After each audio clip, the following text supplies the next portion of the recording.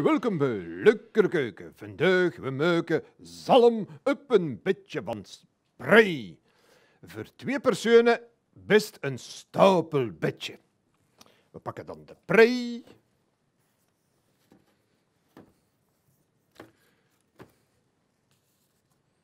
En de zalm. En dan nog een spray op de prei. Een kleur smeukelijk.